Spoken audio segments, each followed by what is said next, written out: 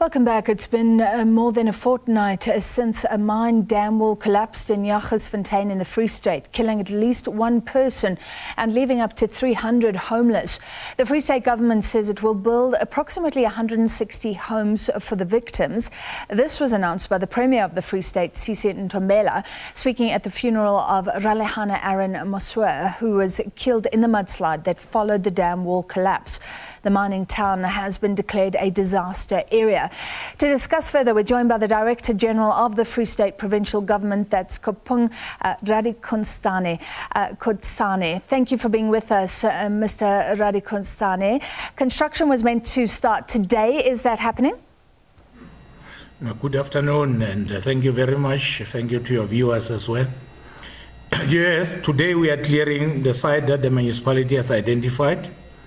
We uh, uh, will be building uh, uh, houses there, about four of them, for community to look at the, the plans to so that they could be able to show us what they prefer, and we will have social facilitation to try and get to a specific agreement with the community there.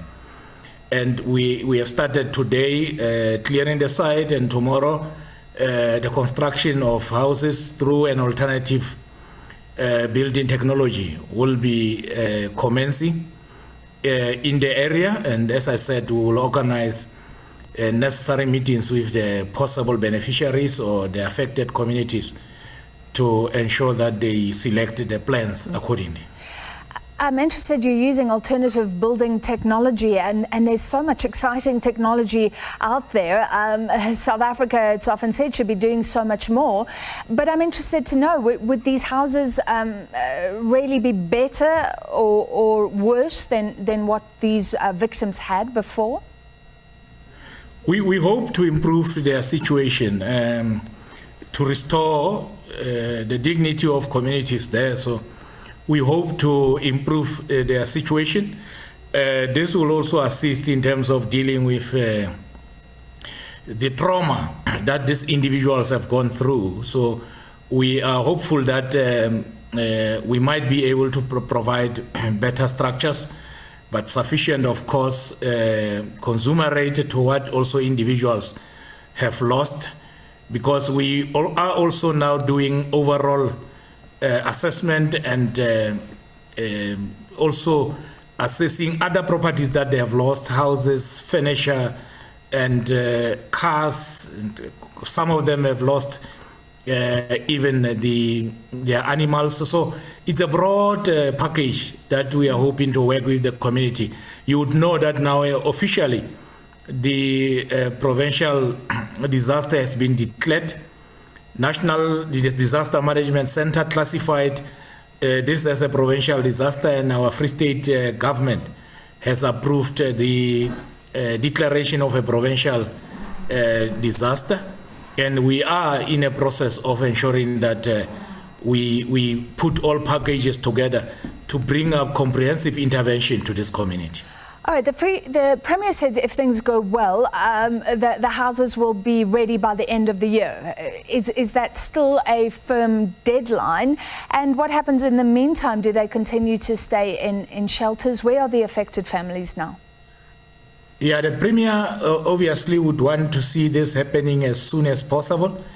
Uh, if communities agree with uh, the alternative building uh, technology, it would be by December, communities would have to be in their houses. But of course, if they feel that we should still go through the uh, brick and mortar, it might even take longer uh, than expected. December might still find some in uh, temporary uh, accommodation.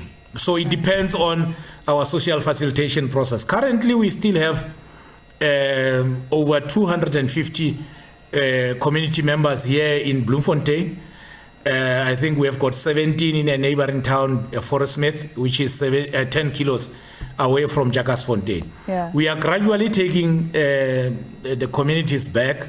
We have started with uh, the teachers uh, who had lost houses, who must now go to some of the houses that are owned by government to stay there temporarily as we are dealing with the applied but to be, still be able to go to normal life of teaching and so on. Business people, some prominent business people have been affected.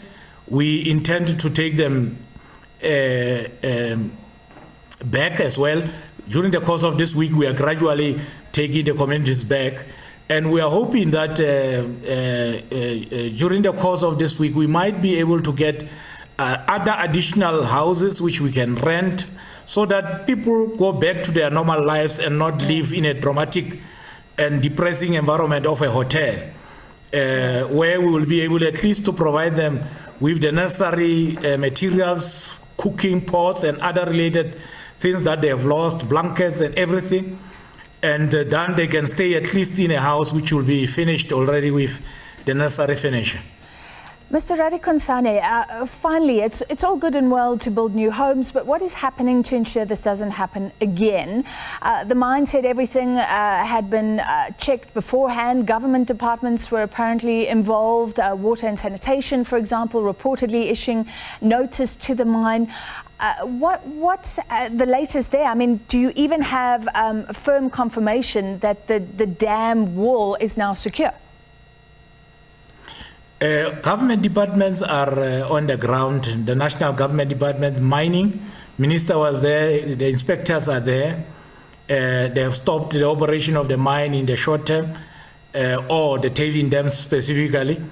Uh, the Department of Water and Sanitation is also there. The Department of Fishery, Forestry and Environment, including our own provincial Department of Environmental Affairs, are there to finalize reports. We have engaged the University of the Free State to work on us in finalizing uh, specific reports, especially on the toxicity of uh, the, the, the substance or the, the, the sludge that has come out of the tailing dam. So we will we are doing all those issues to ensure that this is never repeated.